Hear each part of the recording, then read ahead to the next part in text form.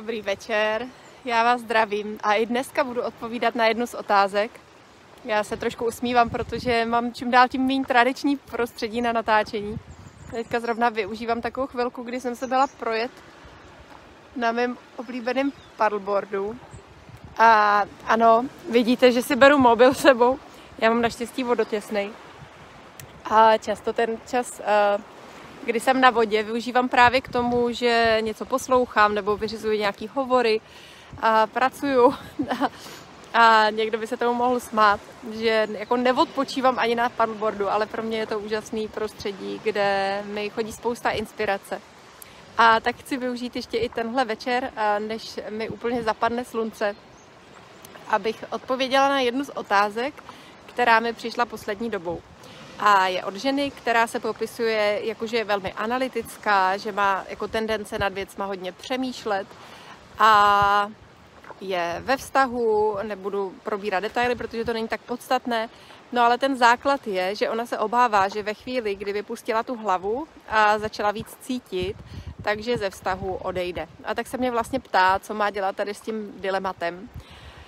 No, tak co myslíte, že vám dám za odpověď? um, Moje doporučení je, že pro ty z vás, kdo si lámete hlavu s tím, jestli jako můžete důvěřovat svým pocitům, z mého pohledu my dříve nebo později nemáme jinou možnost.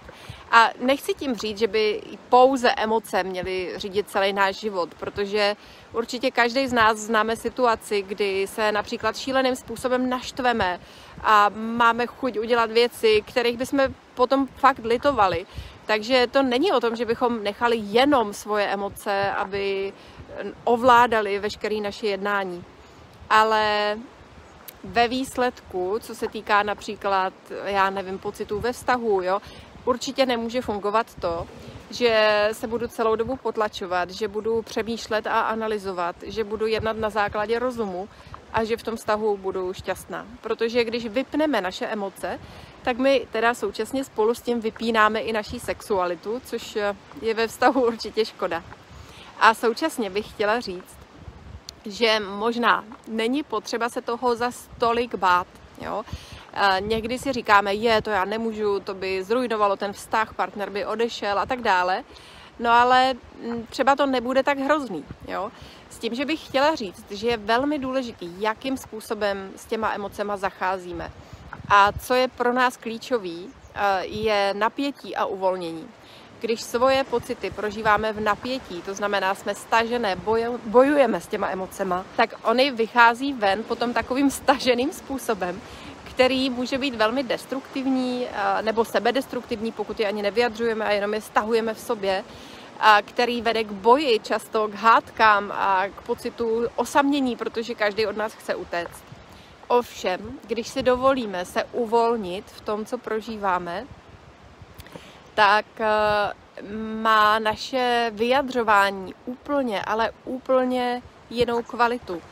A my díky tomu jsme mnohem přístupnější, mnohem lidštější, mnohem srozumitelnější. Jo? Takže moje doporučení je, určitě se nebojte svých pocitů, naučte se je vnímat, naučte se je plně přijímat v sobě. A to vám dá takové uvolnění, takové puštění, takové jako krásné sebepřijetí, které se odrazí i v tom, že i okolí najednou jinak reaguje, že je tam mnohem víc lásky, mnohem víc blízkosti a je to velmi, velmi důležité. Tak to je taková inspirace pro ten dnešní den. A uh, je to téma, které je velké, které my trénujeme na kurzech pro páry, já to trénuji na kurzech pro ženy. A dokonce i Láska je tvůj zdroj, takže kdo jste se přihlásili, tak uh, se těšte na poslední týden našeho kurzu. Jinak tenhle seminář už je uzavřený pro listopad a další spustím pravděpodobně v únoru, takže si musíte trošku počkat a tam se taky dozvíte víc i k tomuhle tématu. Každopádně už pro teď si můžete zapamatovat, že hlavní klíč je napětí, uvolnění. A ve chvíli, kdy budete prožívat nějaký pocity, se kterými v sobě bojujete, tak pravděpodobně zjistíte, že tam je hodně sevření, hodně svalového napětí, hodně ostrosti ve vašem hlase například a tak dále. a zkuste pozvat do svého těla, do svého hlasu uvolnění, puštění. Tohle video můžete sdílet, aby bylo inspirací i pro ostatní. Další zdroje najdete na mém webu denisapalečková.cz, na mém YouTube kanálu, můžete si najít můj Facebook, můj Instagram a těšit se na další inspiraci. Mějte se moc krásně.